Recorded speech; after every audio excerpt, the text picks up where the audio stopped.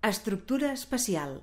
L'Alhambra, nom abreujat de Calat Alhambra, la fortalesa vermella, anomenada així pel color ferruginós de l'argila del terreny circumdant, és un recinte fortificat situat a dalt d'un turó anomenat Sabica, en les fonts medievals. Era una ciutat envoltada de muralles i jardins, dominada per un enclavament reial. Es va crear en un món políticament inestable, econòmicament pròsper, intel·lectualment centrat en si mateix, poèticament ric, fascinat amb el passat i immensament erudit. És un resum dels temes medievals sobre la ideologia principesca, segons formes específicament musulmanes. El seu vocabulari compositiu i les tècniques constructives o decoratives es redueixen a torres, patis, galeries, sales rectangulars i quadrades, cúpules de llaços, sostres de fusta, guixeries i enrajolats. L'element central en la composició de l'Alhambra és el pati rectangular. Un espai central descobert serveix com a eix al voltant del qual se situen els altres components. En el centre de cada eix major hi ha una estança quadrada o pavelló quadrat, que sol estar precedit per una habitació rectangular i un pòrtic. Les sales quadrades es caracteritzen per la presència de níxols o alcoves, sovint molt decorats, la finalitat dels quals és enquadrar la sala, permetre el pas de la llum o fer que els ulls es dirigeixin cap a l'exterior. La combinació de pòrtic, sala allargada i sala quadrada és una derivació dels elements compositius hel·lenístics i vitruvians.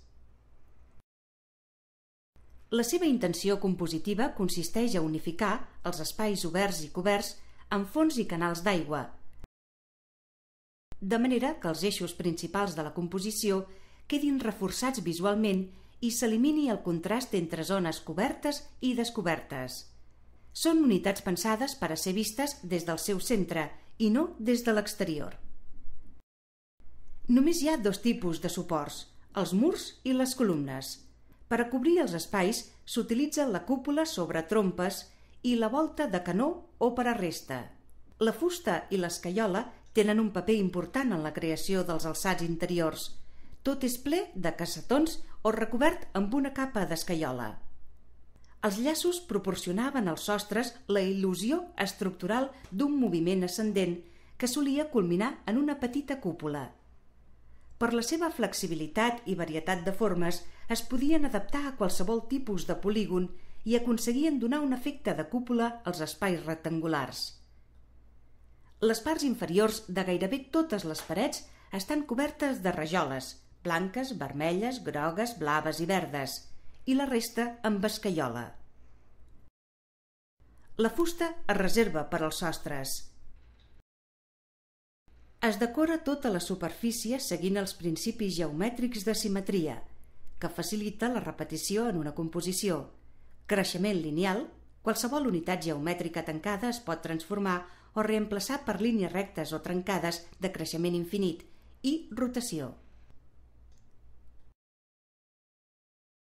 Les inscripcions Les inscripcions que decoren moltes parets de l'Alhambra, a més de reemplaçar les imatges figuratives utilitzades en altres tradicions culturals, indiquen els propòsits de l'edifici i el tipus de significats que se li van atribuir – algunes són informatives i proporcionen dades concretes, com l'època de la construcció o el personatge per a qui es va construir.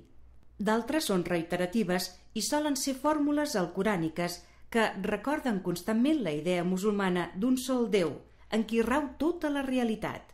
Finalment, trobem les inscripcions iconogràfiques, que subratllen algun propòsit especial de l'edifici o estableixen alguna associació que, d'entrada, no resultava evident. Moltes sales, com la Font dels Lleons, estan decorades amb poemes, que solen estar a l'altura dels ulls i creen la impressió que el mateix edifici parla i explica el seu propòsit.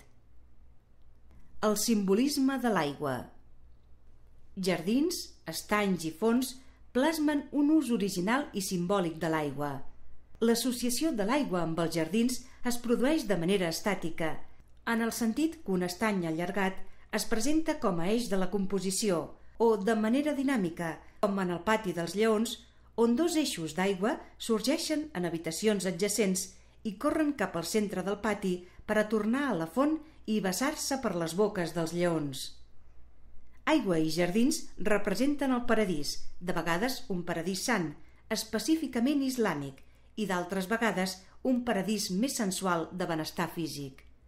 La Font dels Lleons porta una llarga inscripció poètica dins en rac, en la qual l'aigua es presenta metafòricament com una obra d'art i la font com a príncep que aguanta els lleons de la Guerra Santa.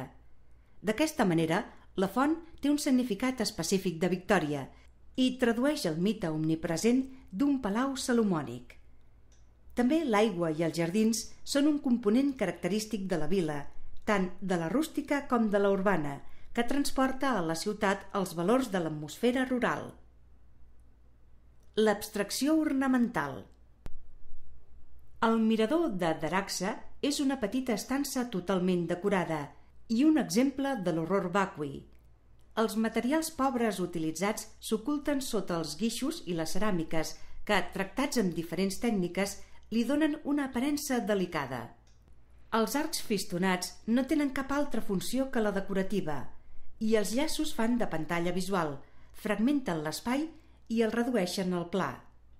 L'alicatat del sòcol està fet amb peces vidrades policromes i segueix patrons geomètrics, reticulars o estrellats, que sembla que representin sistemes astrals. Un joc matemàticament ordenat de formes i colors es repeteix sense límit aparent. De vegades, figura i fons són intercanviables. No interessa ni l'espai ni la profunditat, només el ritme repetit fins a l'infinit, ja que això constitueix la imatge intel·lectual i abstracta de l'A. L'abstracció és una constant en aquest joc de formes que crea un nou motiu estètic.